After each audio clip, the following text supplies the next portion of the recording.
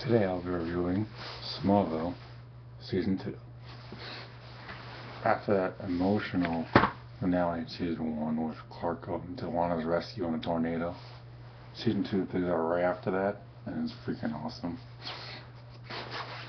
As I recall, I believe it starts off him in a tornado rescuing Lana.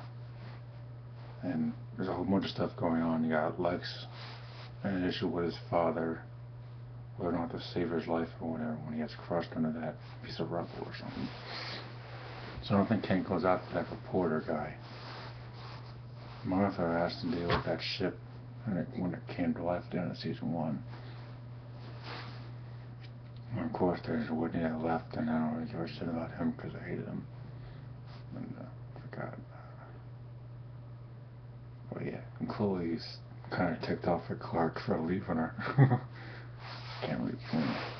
I also always felt bad for Chloe in this series. She deserves a chance at least for Clark. I mean, he wasn't being, being such a dick going out the lawn every five freaking seconds.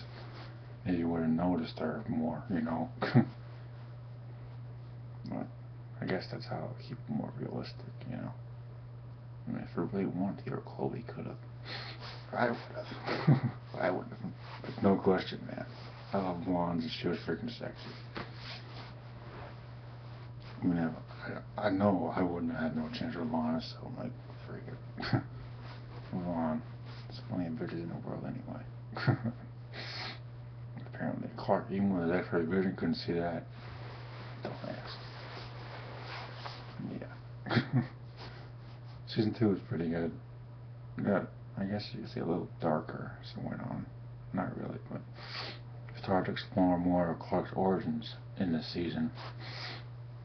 The ship and got the voice of Jor-El and stuff. Voiced by Terence Stamp, the original Zod from Superman 2.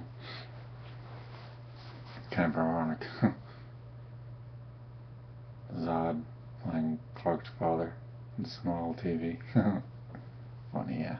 I think so. You got used to after a while, though. But I'll keep hearing in my head. Kneel before Zod. Kneel before Zod.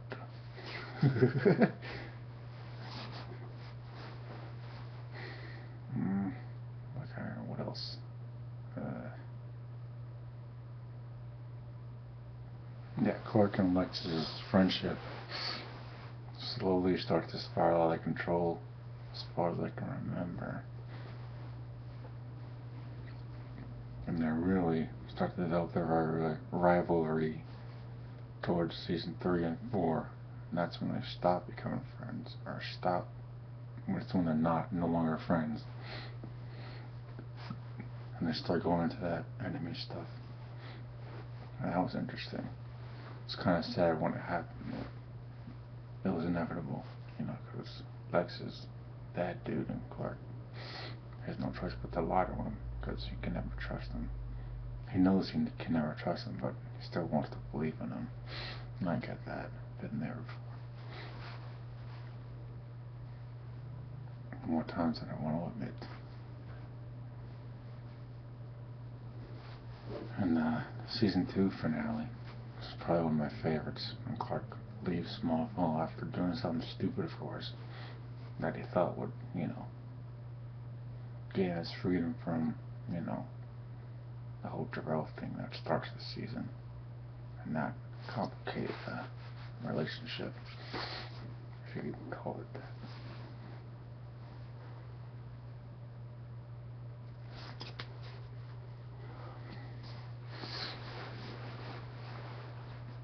Finally, Clark meets his another girl that actually likes, but turns out not they would expect it. Figures. All one reason be the lowest, huh? Honestly, I was hoping she would be introduced a little earlier in the series. Of course, they kept doing that stupid Lana Clark crap for like seven freaking seasons. It was freaking annoying. Yeah. oh man.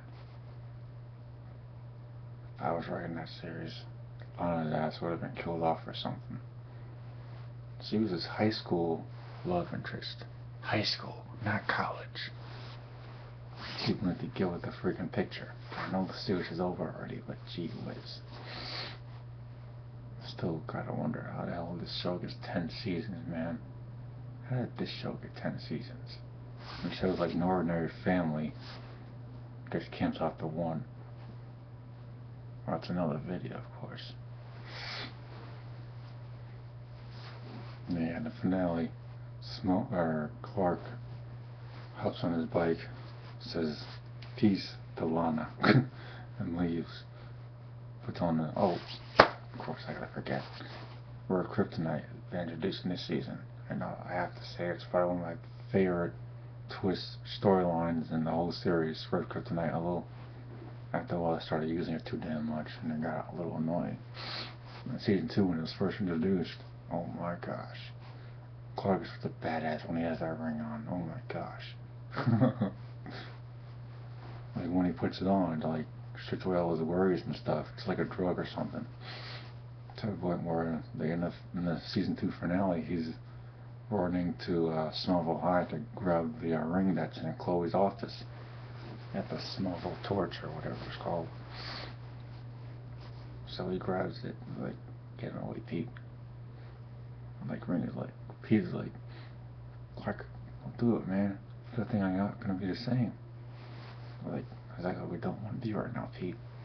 But yeah, been there, done that. Wish I could have one of those rings. Yeah, season two is pretty good. Step in the right direction. Next season, not sure I can say the same. Only because story starts to spiral out of control a little bit. I'll get into detail with that a little later in my next season review. Coming soon.